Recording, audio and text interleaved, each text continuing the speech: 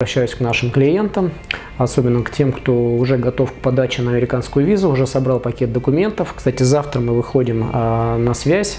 Это будет онлайн-конференция в скайпе. Я, Алена и вы.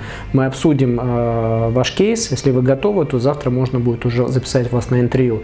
А сразу скажу, что сейчас у нас запись идет на 27 апреля, это Москва, и на 2 мая и далее это Санкт-Петербург. Но талонов становится меньше, из-за этого, если вы готовы, если вы Э, уже способны пойти в посольство США и пакет документов позволяет, я очень рекомендую это сделать заранее, а по той простой причине, что чем ближе к майским праздникам мы будем с вами подавать, тем э, меньше будет шансов, что вы вообще подадите и успеете на майские праздники поехать.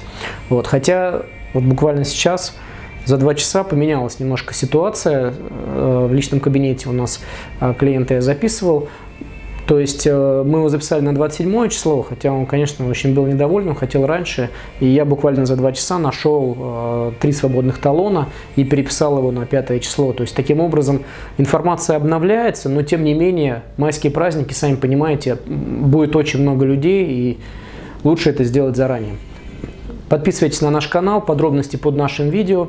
Всем всего доброго, пока!